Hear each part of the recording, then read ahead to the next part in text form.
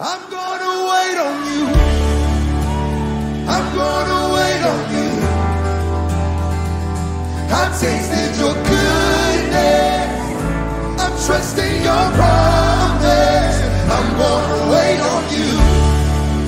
Yes, I'm gonna wait on you. Yeah. I've tasted your goodness.